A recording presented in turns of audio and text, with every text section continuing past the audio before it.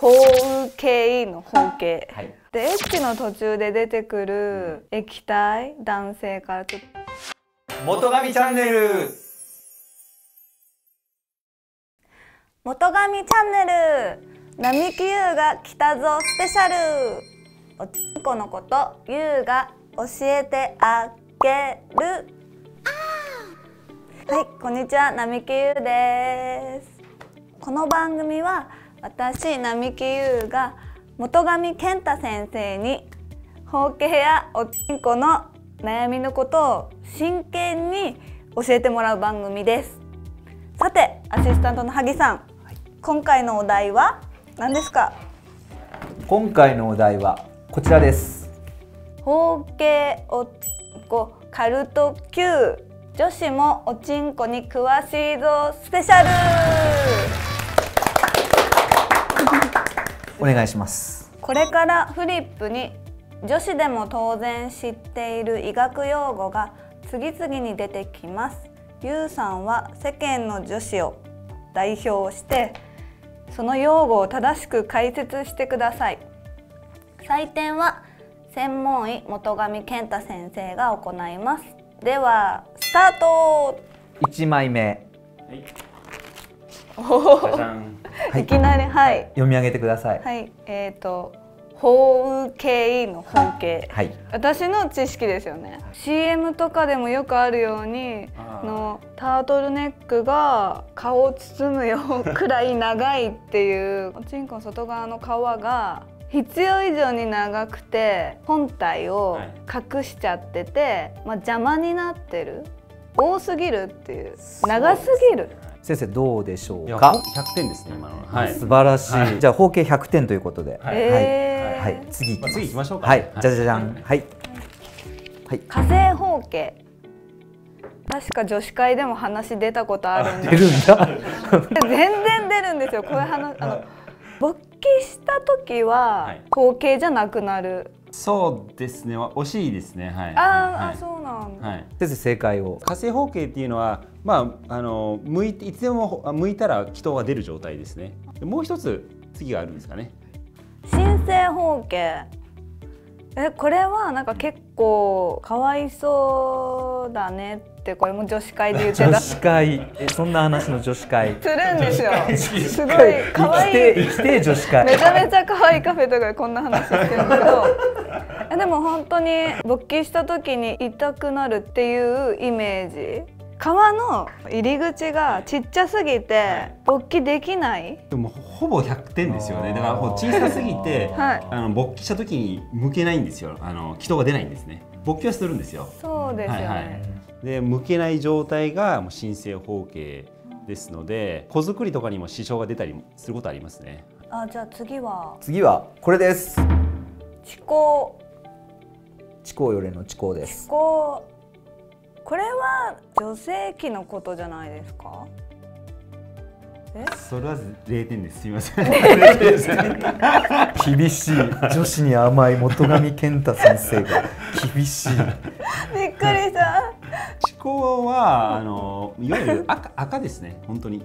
皮膚の皮膚から出る赤。それを痴考って言うんですね。はい。ちょっと想像するとちょっとね、顔がこうしかみ辛いになっちゃうような あれですけど。それを痴考と言います、はい、次いきますね。はい、はい、じゃがじゃんはい。え？関東方形？知らない。関東方形って何ですか？関東っていうのがこう詰まったっていう状態なんですね。火星方形と新星方形のあの間でこう無理やり入り口が狭いからこう向いたらこうキュッと狭くなってるような、はい、新星よりは軽い？そうですね。どちらかというと、エッチの最中にもし向けちゃったとしたら、チンの根元のところを輪ゴムとか針金でぐるぐる巻きになってる状態です。それすごいですね。人が青ざめちゃう感じ。痛そう。これ痛いです。はい、これ次回の女子会でぜひ言ってください。えー、関東知ってる？そういう T シャツを作ってもいいと思います。次行きます。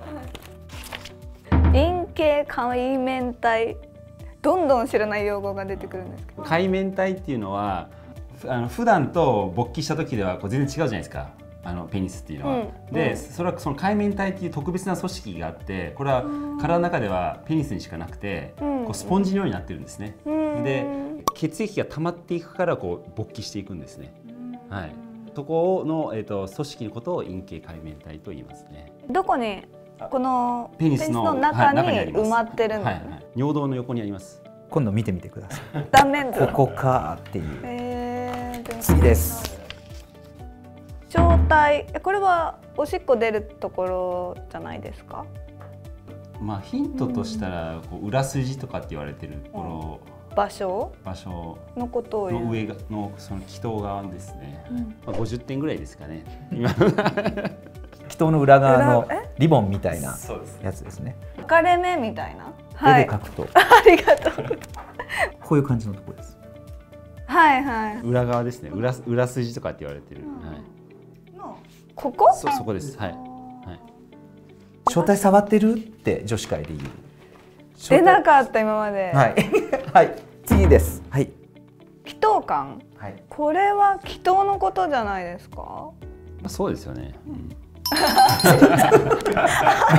質問が悪いみたいな空気になってますけども。合ってる、全体を祈祷って言ってこの立ち上がりのところですね。そこを祈祷感と言ったりもしますけど。段差のこと。段差。まあどちらかっていうと一般的には仮首とかそう言われてますね。仮とか。じゃあ次いきます。はい。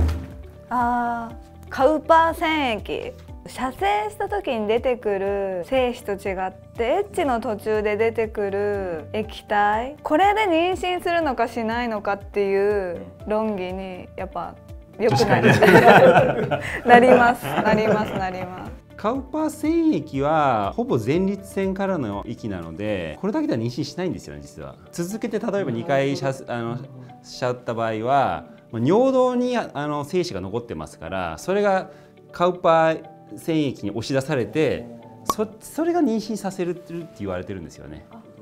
はい、続けてやった時には。はい。え陰嚢、はい、陰毛じゃなくて陰嚢。陰嚢。なんでしょうね。玉袋的な違います？正解。正解。勘で当たるってもうやばいですね。これお願いします。え、精通？何かに精通しているという？うん。そうですね。はい。僕もそう思います。あれ？医学書によると、はい、射精を初めてすることを精通という。知らなかったです。えー、知らなかったです。えー、えー、え先生言ったことないですか？言ったことない。みんな知ってました？はい。えーぐだぐだになってすいません。はい。今回のくだり、ゆうさんの感想とまとめをお願いします。以上ですか？わかりました。今回これだけ楽しかったはい、楽しかったです。今回ちょっと私もいろいろ勉強になったのと、五六割以上は当てれたんで楽しかったです。ありがとうございました。また違う動画も見てください。ご覧いただきありがとうございました。えー、ペニスのことなので相談すら恥ずかしいという方も多くいらっしゃいます。手術経験者として丁寧親身にお答えいたします、えー、勇気を持ってご相談ください。お問い合わせは概要欄をご覧ください。チャンネル登録もお願いします。待ってます。